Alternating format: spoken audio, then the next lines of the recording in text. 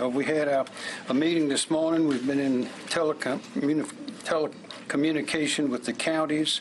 Uh, Everybody's ready, everybody's prepared, and we've, uh, of course, we're operating under an executive order, which I issued yesterday, that allows us to move people and equipment much more quickly. Uh, We are not going to have any evacuations.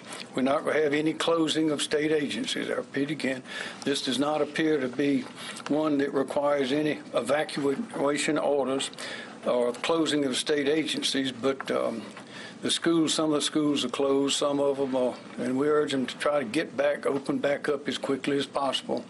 The Longer the schools are closed and the children can't go to school, then we know those are consequences for that as far as learning. I'd urge everybody, once again, get your information from official sources.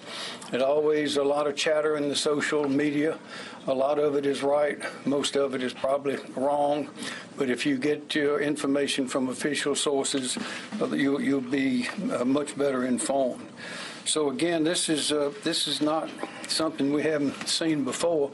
There may be newcomers to the state that have never seen a hurricane, never seen a flood, but uh, those of us who've been here for a number of years have.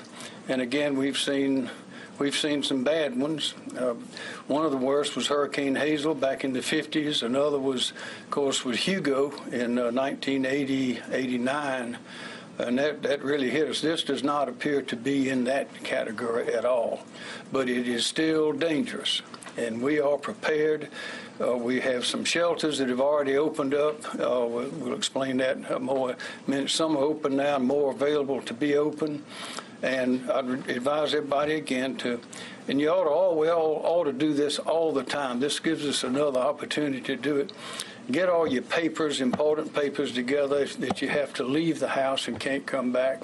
Get your pills, your prescriptions, uh, your pets. Get a, have a plan for all of that, and understand that you you may be trying to get those things together when the power's out and you need to get out of the house. But until you have to get out, stay home. Stay home tonight. Don't go sightseeing to see what's happening. Don't go driving around. There's nothing go good going to come from that. So uh, we, again, we've we've been through this before. We've been through a lot worse than this one appears to be. So uh, we are ready. Your, your team all across the state is, is ready, and we want to want everybody to be as uh, ready and prepared. Don't panic. Uh, but be prepared and get your information from official sources.